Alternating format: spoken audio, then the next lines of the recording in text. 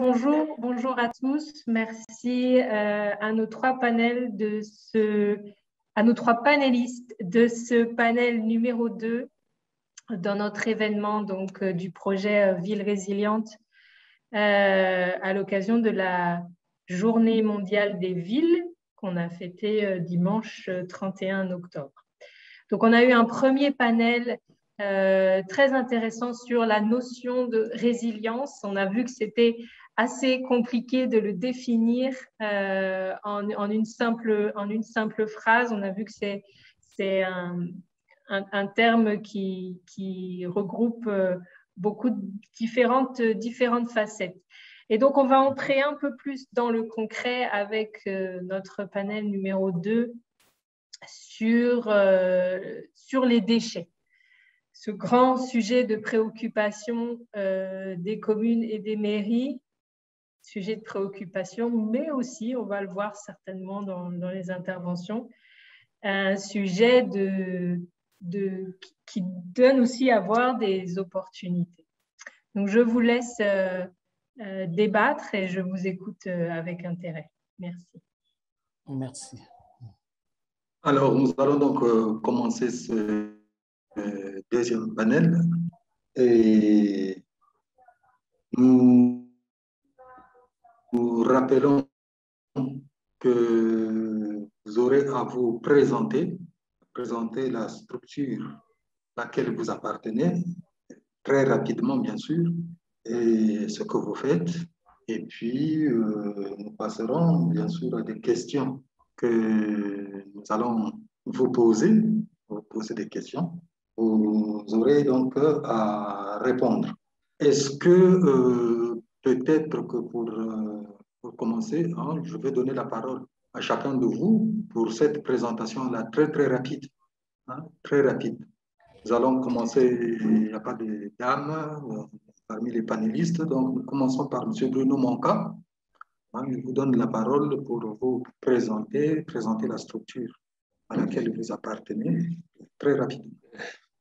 Merci, M. Josué. Je suis effectivement M. Bruno Wilfried Monca.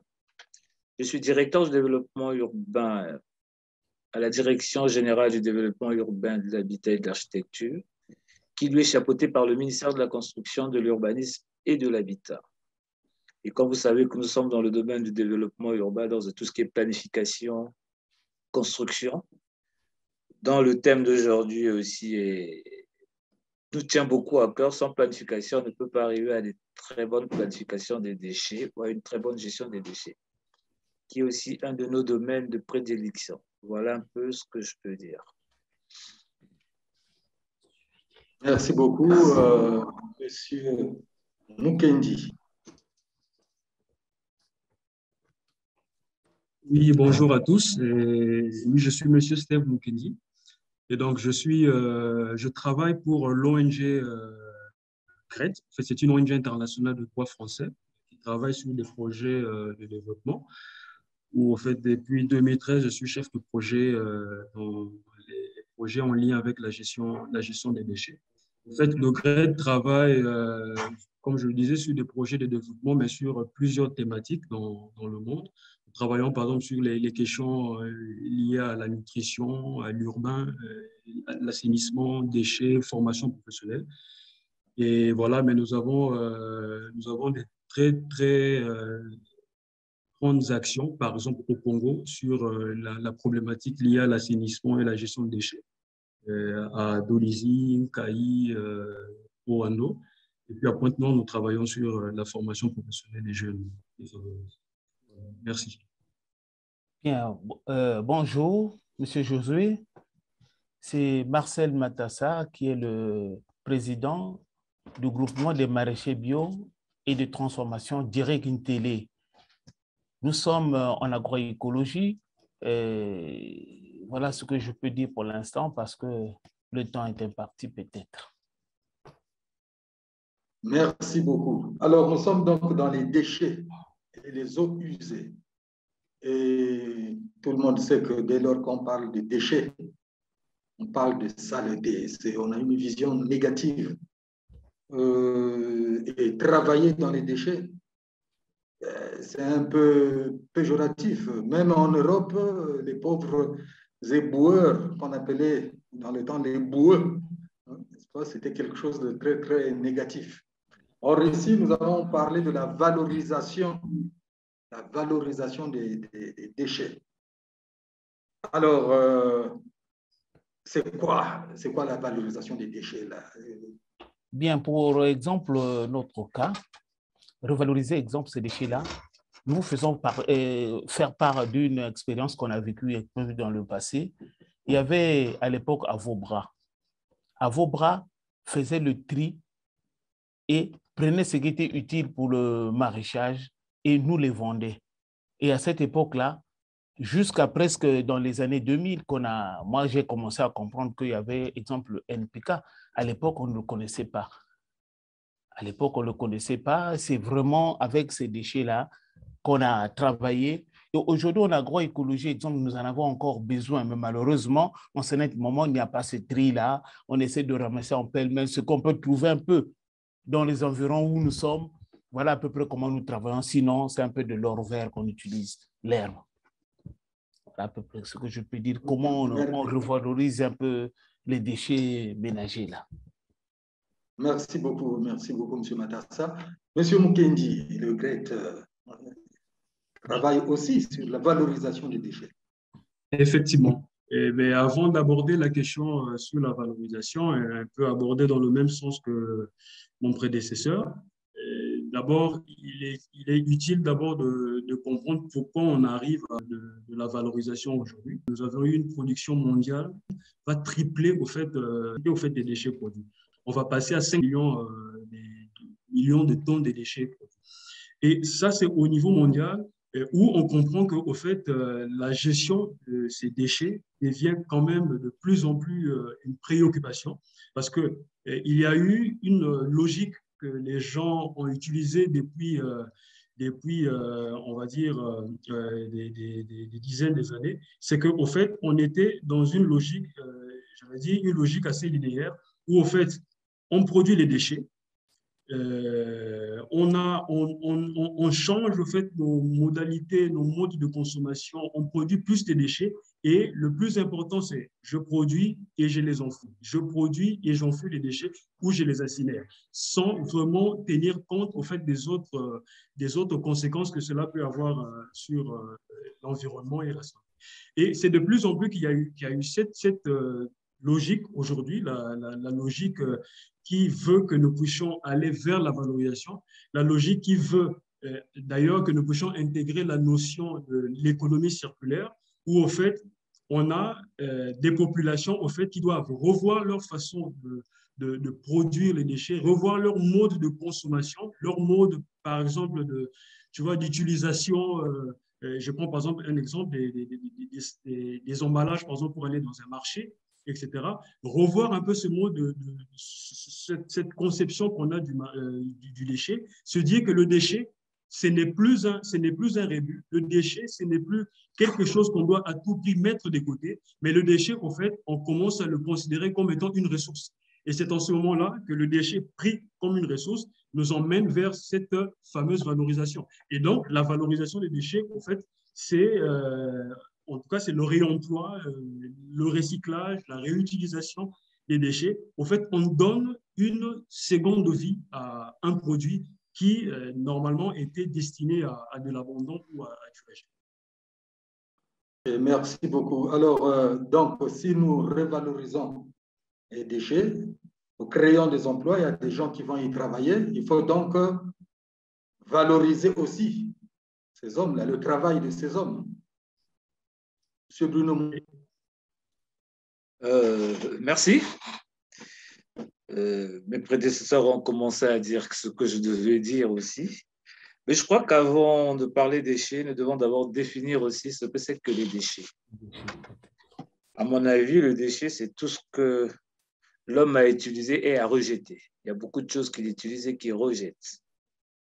Euh, dans notre cas, on parle des déchets dans la ville.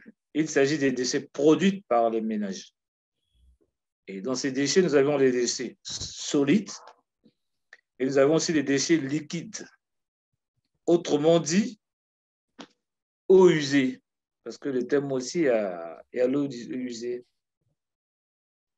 Nous savons aussi que les déchets fait, fait intervenir beaucoup de processus dans le cadre de la revalorisation. Le processus, on peut dire qu'il va déjà de la pré-collecte à la collecte, enfin à l'élimination, dans le but de réduire la quantité des déchets que l'homme produit.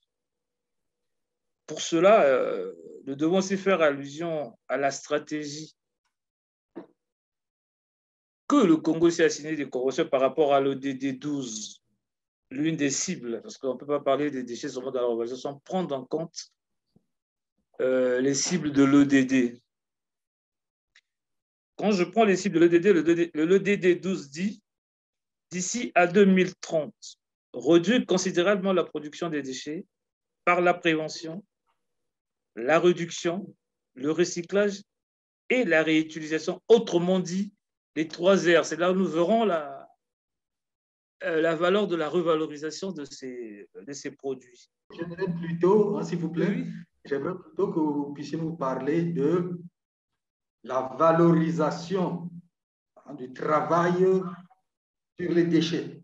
Parce que généralement, bon, c'est probablement au départ hein, mal vu par les gens. Moi, je veux aller je vais avoir comme boulot d'aller me plonger dans. C'est ce que je disais, c'est-à-dire qu'effectivement, quand vous avez dit à l'introduction, les gens prenaient euh, un travail qui n'avait pas de valeur. Aujourd'hui, les déchets deviennent matière première que les gens ne s'en rendent pas compte. Les gens, le concept de l'éboueur, l'homme sale, l'homme aussi ne se rendent pas compte que l'éboueur aussi est un homme qu'il faut mettre en premier plan, qui produit de l'emploi et qui produit de la matière première et crée aussi dans, la valorisation des déchets. Si je veux citer comme exemple, comme l'a dit M. Matassa, il y a des déchets ménagers où on fait du compost, par exemple, que eux ils font, c'est déjà ça. Il y a aussi euh, le ramassage des, plastiques, ou que nous négligeons ici aussi, qui est une matière première aussi. Donc, c'est des aspects qu'il faut prendre en ligne de compte, que le commun du mortel ne connaît pas encore.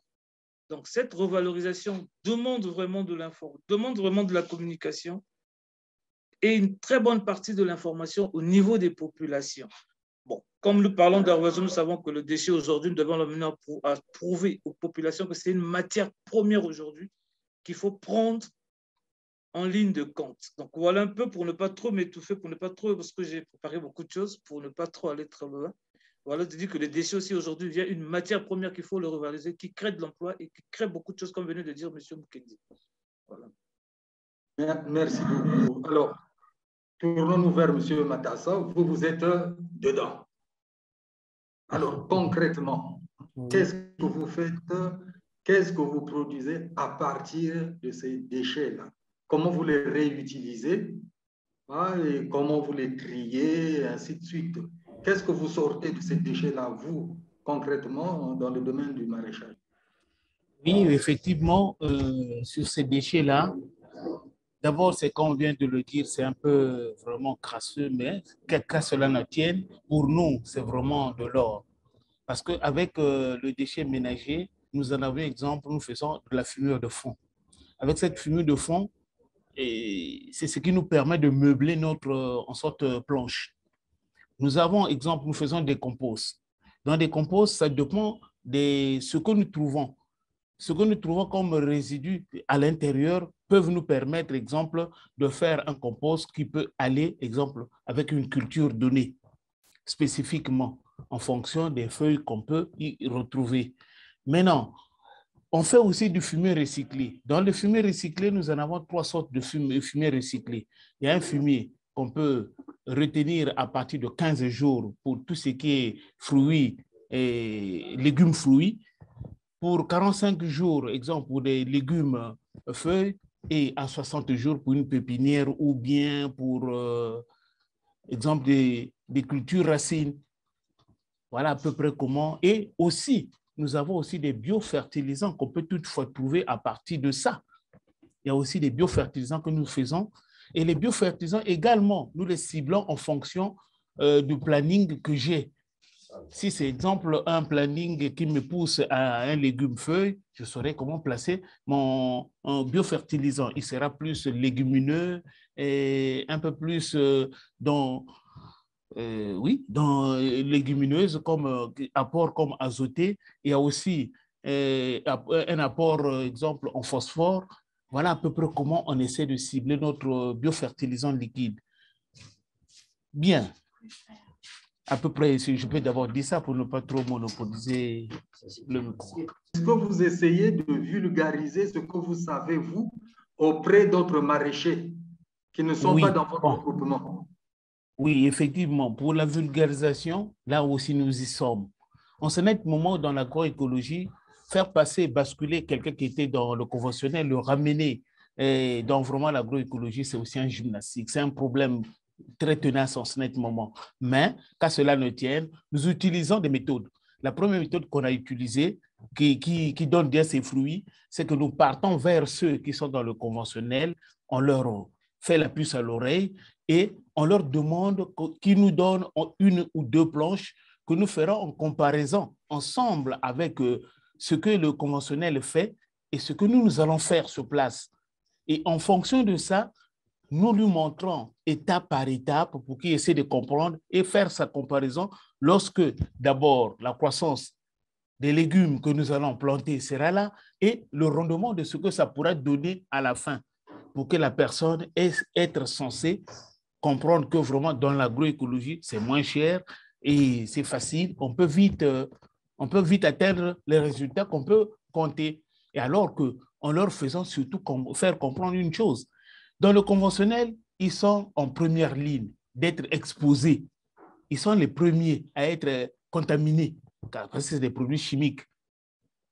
Et en deuxième position viennent les consommateurs, voire même les transporteurs. Parce que ceux qui font euh, la relation entre producteurs et consommateurs ou grossistes, deux fois, se peinent pas de bien laver leurs mains et ils se mettent directement à prendre quelque chose. Eux aussi, ils sont dans la chaîne exposée. Voilà à peu près comment, à peu près, nous essayons euh, d'apporter cette puce à l'oreille parce que c'est difficile de faire convaincre, la personne. Oui, merci beaucoup, merci beaucoup. Je me tourne vers M. Mukendi. Euh, dans le cadre du projet Ville résiliente en République, en République du Congo, euh, qu'est-ce qui est prévu dans ce domaine-là?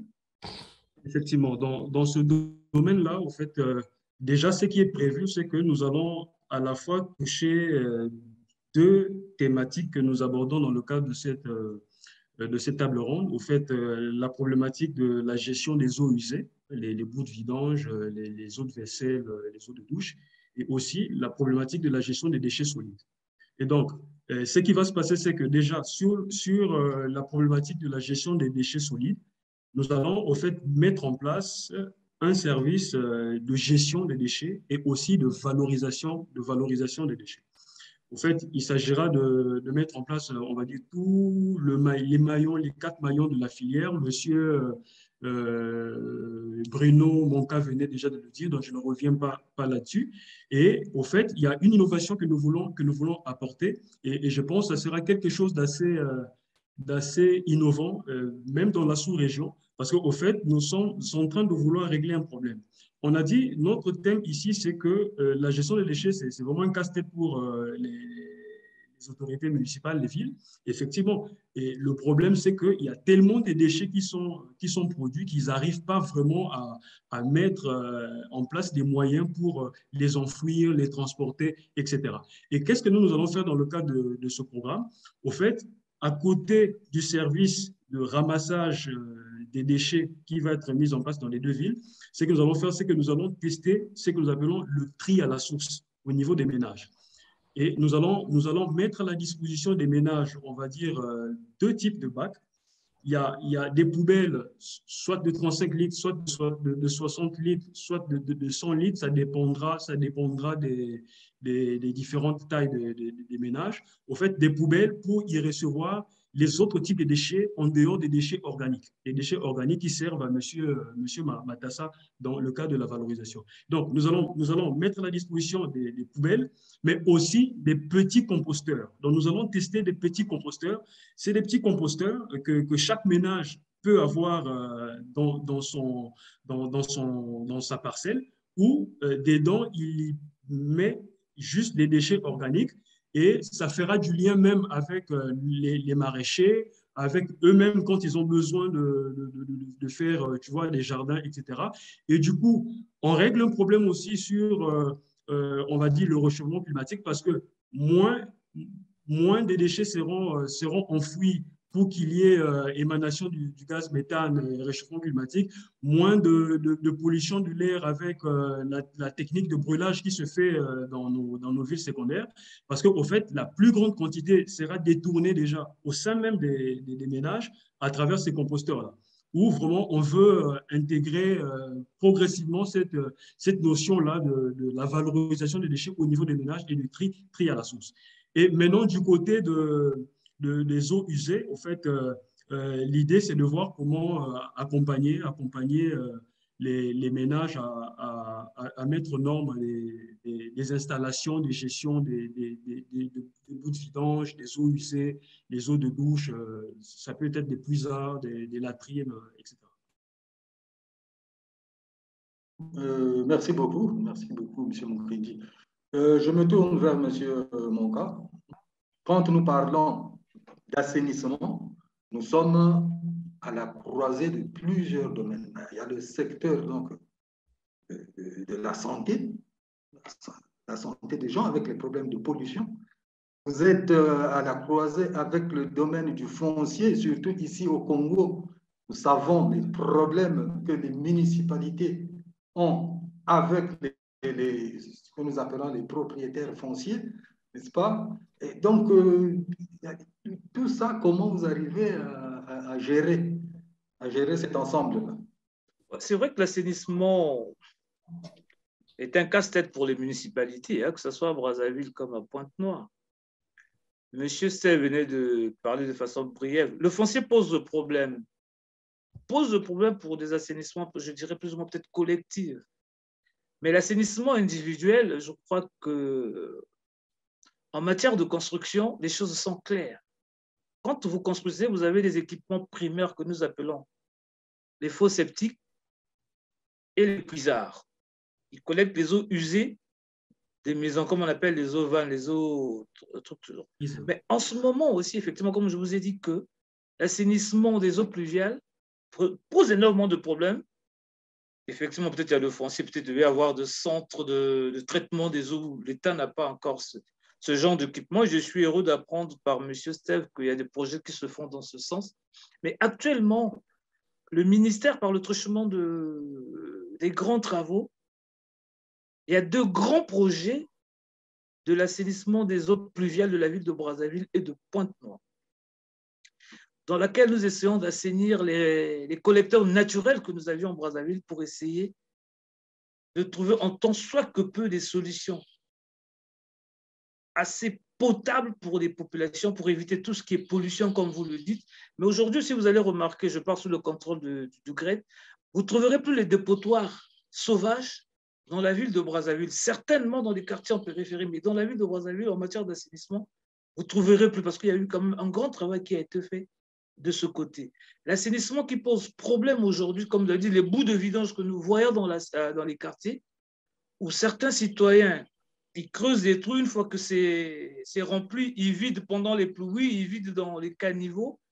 C'est vrai, ça pose vraiment des problèmes, des problèmes, c'est vrai.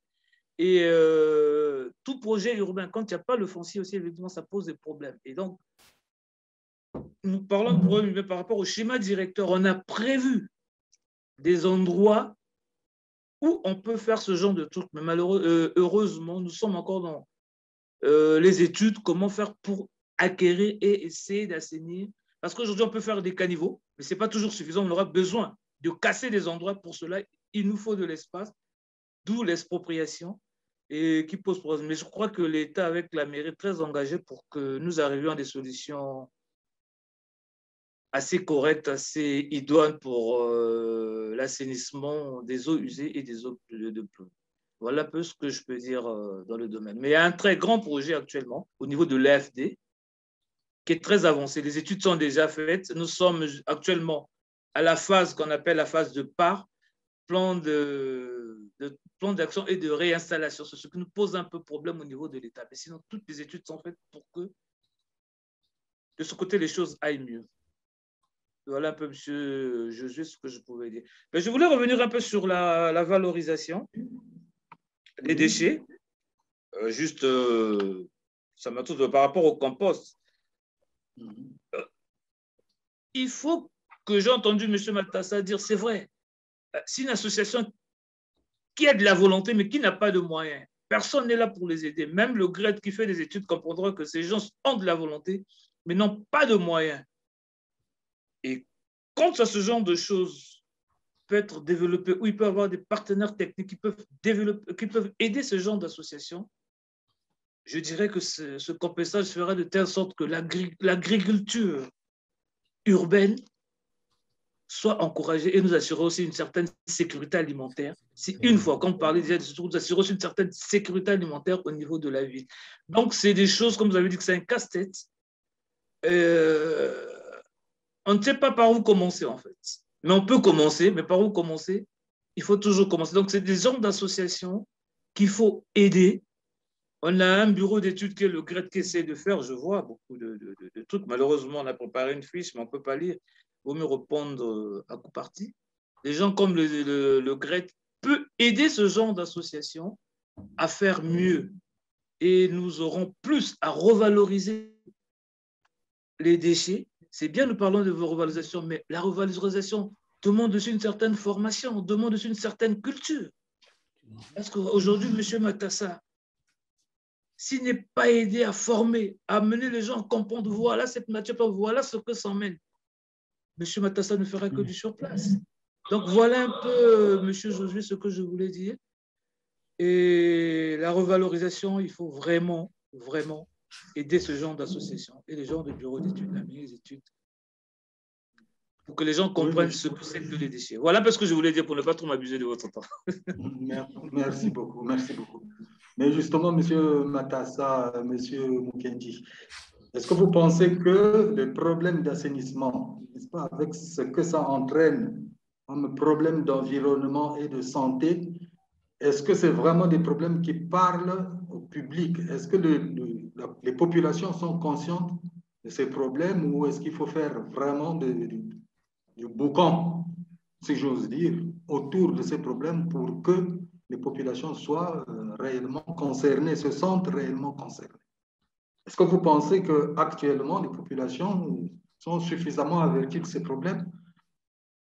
Bien, ils sont, exemple, oui, ils sont, exemple, euh, informés, mais je trouve qu'ils ne sont pas tellement informés. Exemple, dans notre cas, là où nous sommes, nous sommes dans une zone pratiquement en face de la LCDE, ex-SNDE.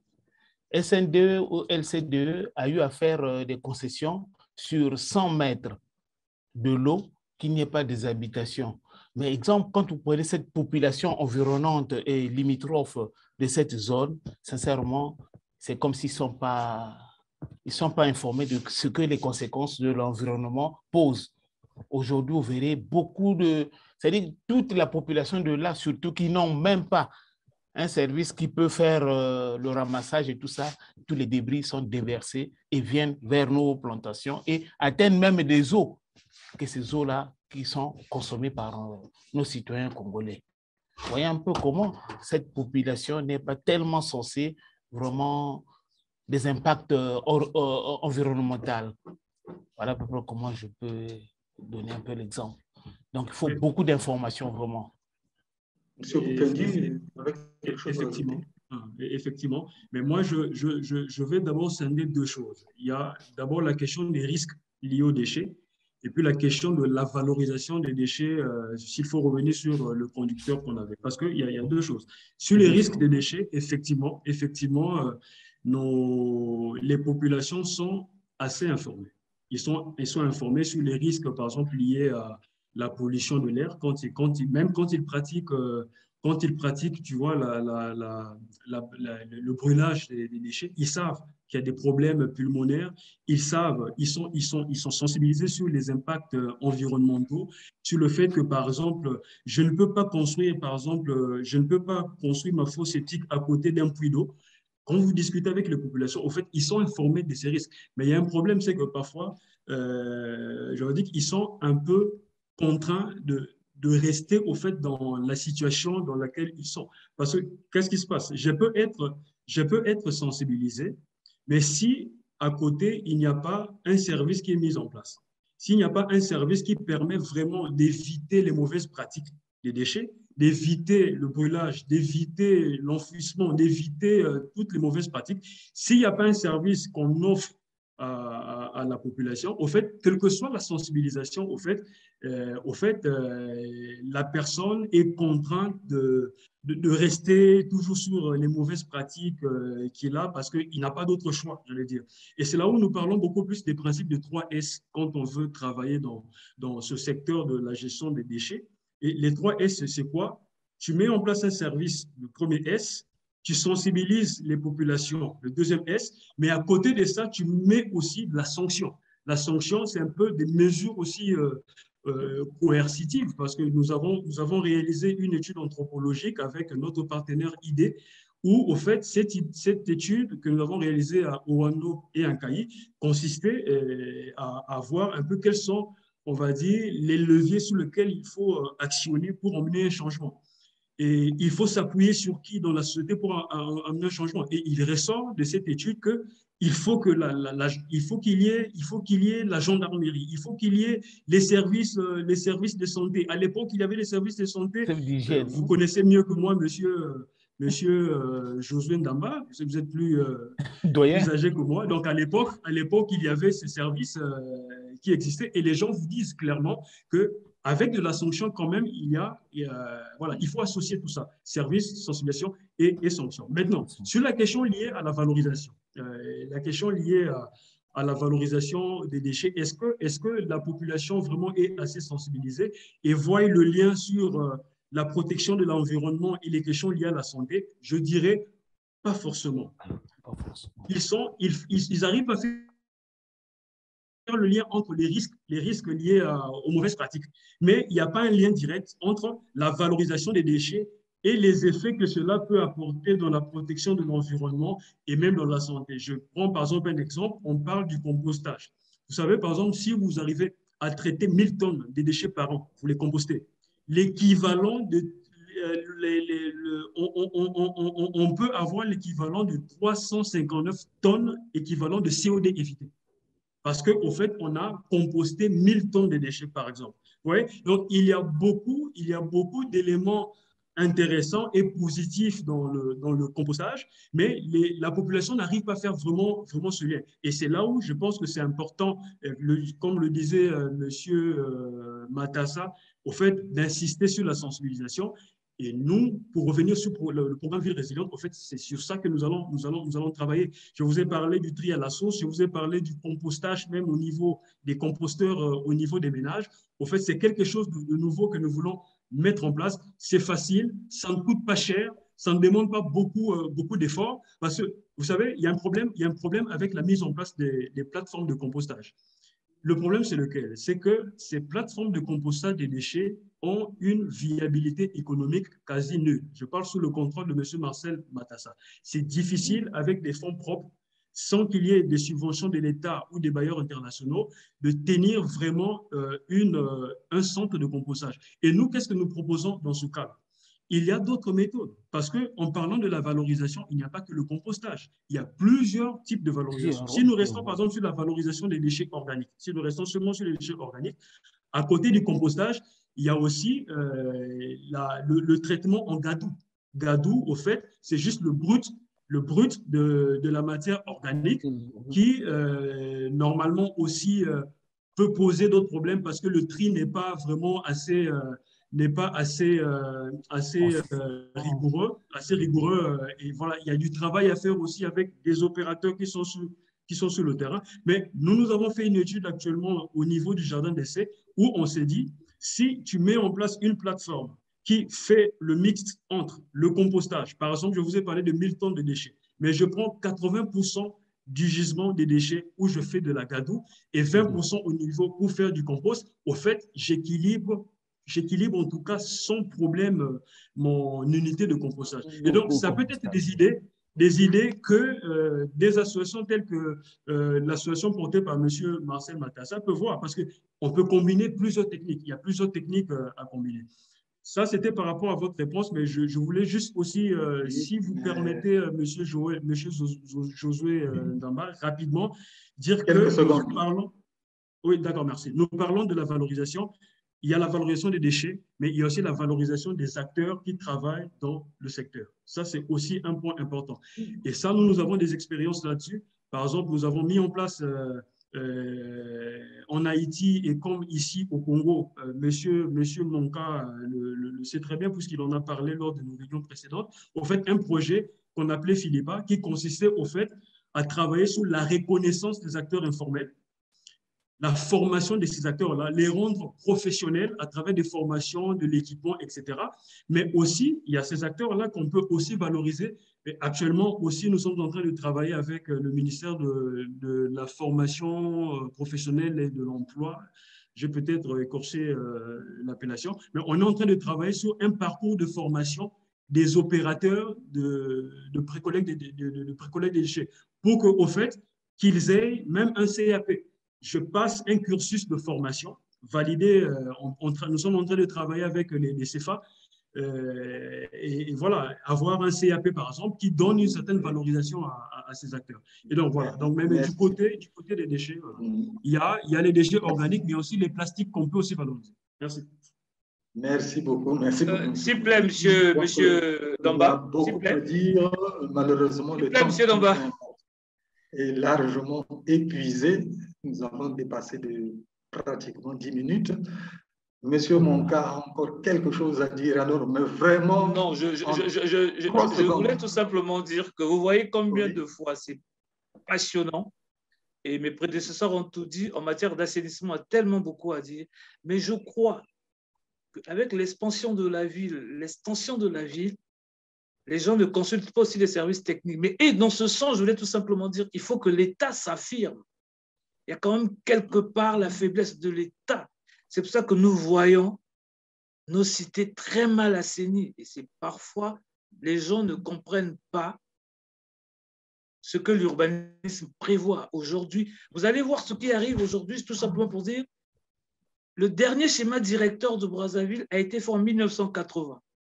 Et nous venons de faire un nouveau schéma directeur en 2016.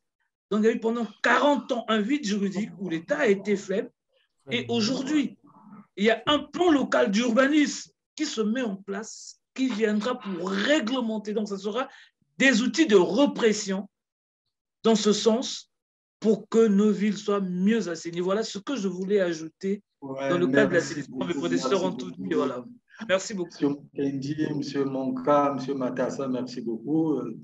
Nous sommes obligés d'arrêter là et je remets la parole à Muriel qui va essayer de tirer les conclusions. Oui, merci.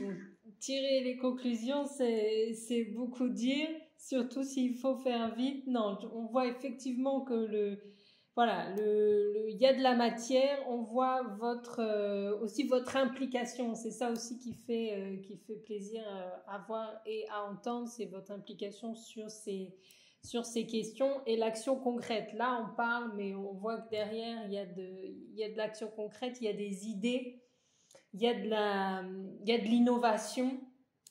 Et donc, euh, et donc ensemble, euh, ensemble, on avance. Donc, on, voit que c'est une question, la question de la valorisation des déchets et, et, euh, et au, au, cœur de, de nos différentes dynamiques dans nos, dans nos villes. Et, et, euh, et, ensemble on trouve, euh, on trouve des solutions. Et cette question de, de, de la sensibilisation et est-ce que les gens sont, sont conscients, quelle conscience ils ont des, des problèmes et des défis, euh, on, on l'a commencé à l'aborder et on va la développer encore plus avec le panel, le panel numéro 4. Donc on vous renvoie aux, autres différents panels pour, pour poursuivre la discussion. Merci à tous pour cet échange.